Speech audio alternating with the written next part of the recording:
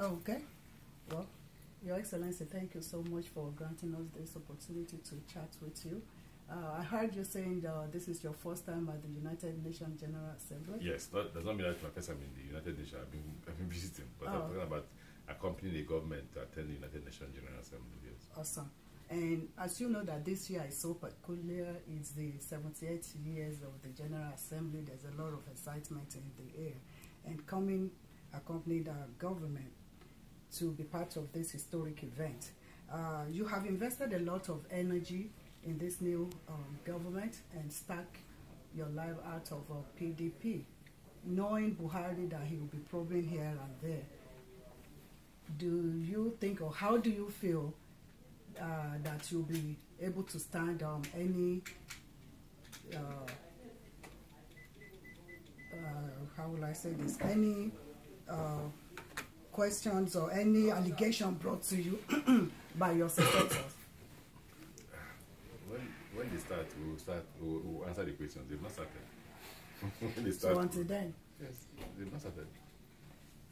uh, I, the other day too, my colleague called you a uh, game changer, and I know that you recognize that the matter of liberty is within the responsibility of true leader.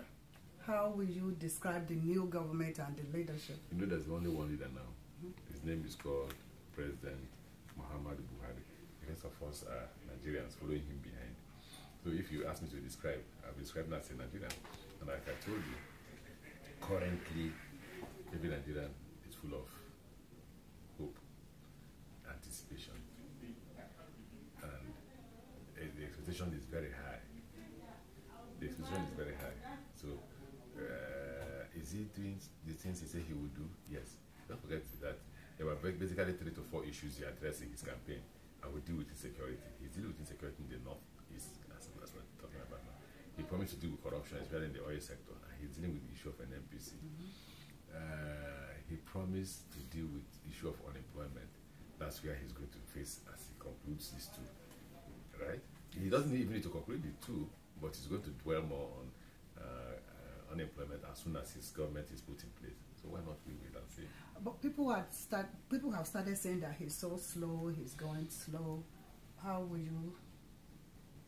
How long? You know, he answered. He, he has answered that question. Mm-hmm. Slow and steady wins the race. I thought he heard that when we were primary school. Slow and steady wins the race means that if you if you're focused and you're doing the right thing, then you produce the right results. Well, we won't hold you any further. Thank you so much. Thank you. Thank you. You see,